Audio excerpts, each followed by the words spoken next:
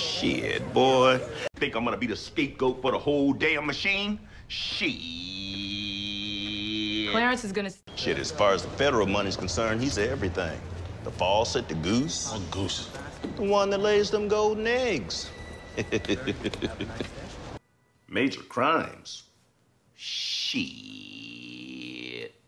They gonna come talk to me about money laundering in West Baltimore? Shit. Looking forward to working with you. Shouldn't you be dead to me? Shit. I took it easy on you, son. Pie in the sky. Shit, partner. And it's your people up in my shit. Not no feds, not no safe people from Annapolis. It's motherfuckers from my own city. For all that profile, shit, partner, you should be paying me a fee. Maurice Doby? For governor of my state? Shit.